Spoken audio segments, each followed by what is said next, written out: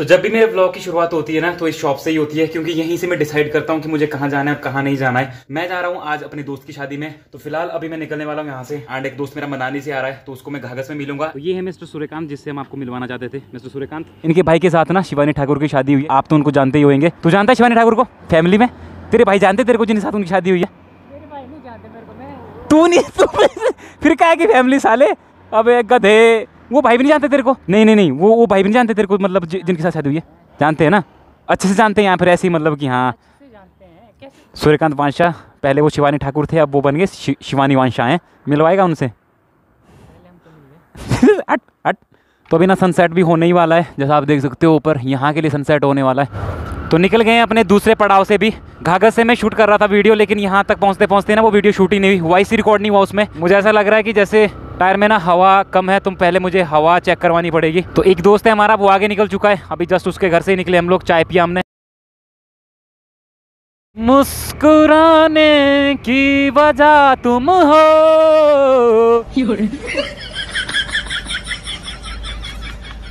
गुनगुनाने की वजह सूर्यकांत तू है। सुरु सुरु सुरु सुरु। आई लव यू ये वाला जो रास्ता है ना, ये था मार्कंड के लिए। यहाँ से आप देख सकते हो राइट के लिए श्री मार्कंड ऋषि पावन तीर्थ स्थान।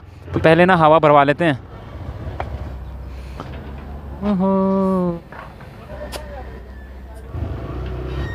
तो अल्ट्राटेक के लिए ना यहाँ से जाते हैं, जब भी कोई अल्ट्राटेक के लिए जाता है या फिर ट्रक्स यहाँ से निकलते हैं। ये वाले ट्रक है ना, सारे बागा फैक्ट्री के हैं। ACC Barmana Ambuja cement factory Darla Ghat की गाड़ियाँ भी यहाँ पे चलती रहती हैं। मौसम काफ़ी अच्छा हो चुका है, लेकिन इस टाइम पे अगर पहले का मौसम होता ना तो इस टाइम पर बाइक चलाना बहुत ज़्यादा टफ हो जाता। अभी काफ़ी अच्छा लग रहा है। अच्छी बात यह है कि इस बाइक की अब आदत हो चुकी है मुझे। तो यहाँ से भी एक रास्ता है जो कि जाता है मार्केंड ऋषि के लिए गाँव गाँव से होता हुआ। सूर्यकांत, शुरू! फिर क्या सोचा, कब शादी करेगा? फिर क्या सोचा, कब शादी करेगा? जितना दूर तू शादी से जा रहा है ना शुरू उतना ही दूर तू सरकारी नौकरी से जा रहा है। कसम सच्ची कह रहा हूँ मैं तेरे को। शादी जल्दी कर ले तेरे को नौकरी मिल जाएगी।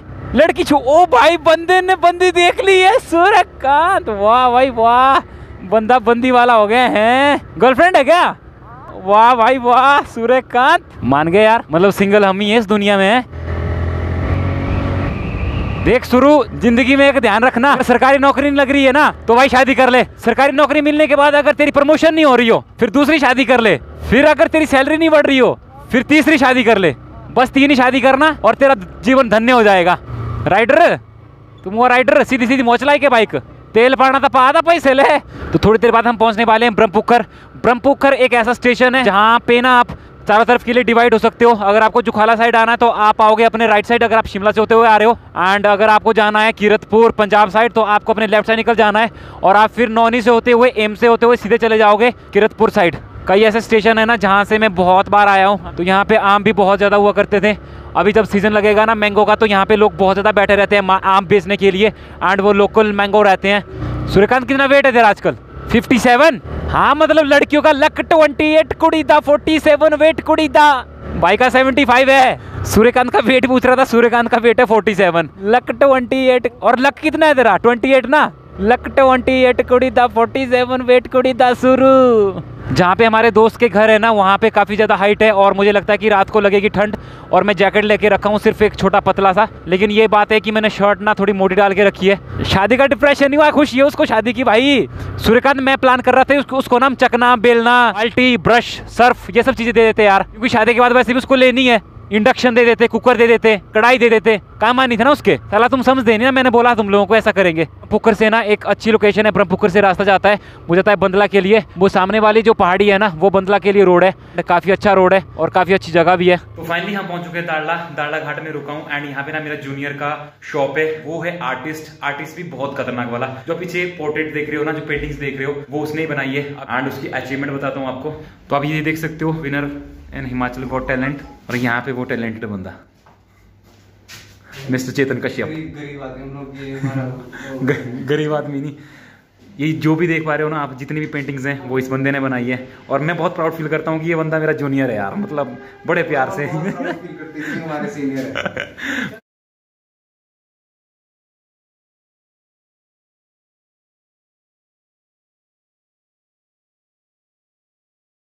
तो सोलन ज़िले में ना अर्की जगह नाम की जगह आती है। वहाँ पे शायर मेला बहुत ज़्यादा फ़ेमस है। साढ़े चार मिनट में इस बंदे ने ये पेंटिंग बनाई थी हंसराज रघुवंशी की और फिर यहाँ पे इनको गिफ्ट कर दिया था और उन्होंने अपने घर पे लगाई है। एंड यहाँ पे आप जितनी अचीवमेंट देख पा रहे हो ना भाई मतलब बहुत प्राउड फील होता है बहुत प्राउड पता है ना कौन है? अभी इनकी डेथ हो गई थी कौन है ये? कौन है ये? है गुड यार गुड शुरू पड़ता है तू। तो भाई यार रोड तो देख सकते हो कितनी कितना सही रोड है यार। फिर बाद में हम शादी में पहुँच जाएँगे एंड फिर आपको दूर से मिलवाएँगे। सो फाइनली हम पहुँच चुके हैं शादी वाली लोकेशन पे। तो ये है हमारे दोस्त का घर। हम पहले भी यहाँ पे आज आके रखे हैं। तो आज कई सालों बाद फिर से यहाँ पे एंटर हो रहे हैं। लगभग लगभग सात से आठ साल बाद यहाँ पे आ रहे हैं।